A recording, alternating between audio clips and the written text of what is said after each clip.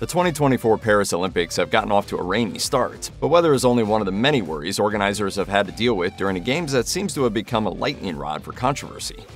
The Olympics opening ceremony included a segment that had some viewers seeing red. Dancers and drag queens performed a scene alongside a fashion runway.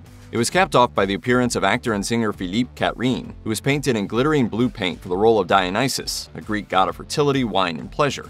While art experts have pointed out that the scene was similar to paintings like Dutch painter Jan van Bijlert's Feast of the Gods, some said the scene reminded them of Leonardo da Vinci's The Last Supper, which depicts Jesus Christ and the Twelve Apostles. Enraged viewers took to social media to say it mocked the Christian faith. Thomas Jolly, the artistic director of the opening ceremony, said in a media briefing We wanted something that would unite people. We didn't want anything subversive. Jolly told news channel BFM TV that the scene was specifically meant to depict a quote, big pagan celebration linked to the gods of Olympus, and thus the Olympics. Paris 2024 spokesperson Anne Descamps eventually apologized and claimed there was no intention to offend. And clearly, there was never uh, an intention uh, to, to show disrespect to uh, any uh, religious group. She added that the idea behind the performance was to celebrate community tolerance. The metal band Gojira performed the 19th century French anthem Ça Ira during the opening ceremony. It was a massive spectacle that included lots of fire, a beheaded Marie Antoinette, and of course, heavy riffs. Though many praised the production, Fox News pundits and other right wing commentators decried the performance.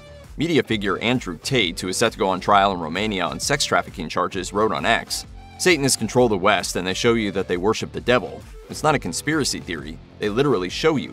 Are you blind? Gojira frontman Joe Duplantier laughed off the accusations, though, pointing to France's history of separating government from religion during the French Revolution of the late 1700s. He told Rolling Stone, It's French history. It's French charm, you know, beheaded people, red wine, and blood all over the place. It's romantic. It's normal. There's nothing satanic. In yet another case of organizers of the Paris Olympics clashing with religious groups, France has barred French athletes, but not those from other countries, from wearing the hijab or other religious headscarves at all levels of sport. Amélie Oudéa-Castéra, the French sports minister, said in September 2023 that the rule is tied to the country's secularist political ideology, thus prohibiting religious displays in sports. Athletes both within and outside of France have opposed the decision. Australian boxer Tina Rahimi wrote on Instagram Women have the right to choose how they want to dress, with or without a hijab. I choose to wear the hijab as a part of my religion, and I'm proud to do so. It's so un- unfortunate for the athletes in France because, you know, it has nothing to do with your performance.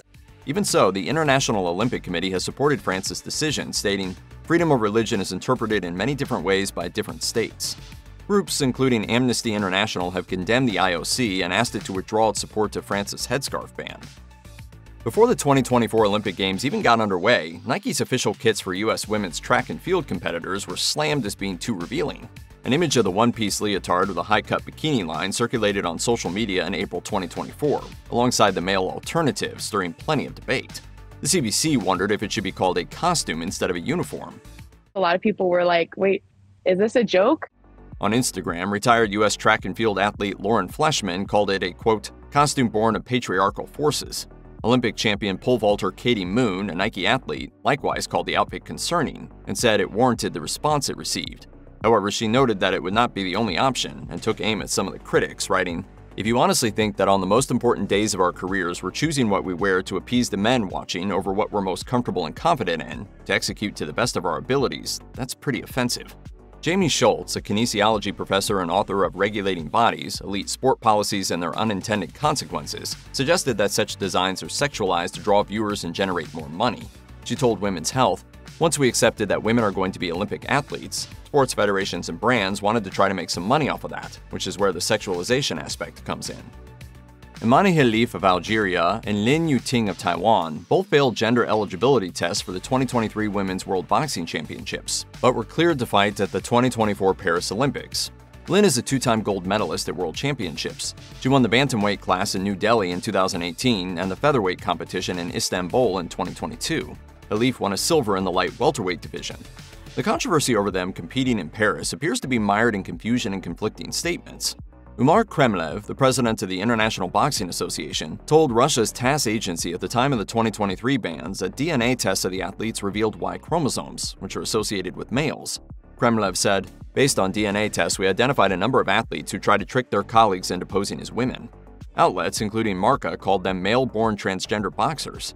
NBC News suggests their genders assigned at birth are not known, writing, Khelif and Lin have both always competed as women, and there's no indication that either identifies as transgender or intersex. The Associated Press characterized the clash between the IOC and IBA as fallout from a years long dispute over leadership failures, finances, and integrity. In June 2023, the IOC withdrew its recognition of the IBA due to what it called a total lack of financial transparency, effectively barring the governing body from the Olympics.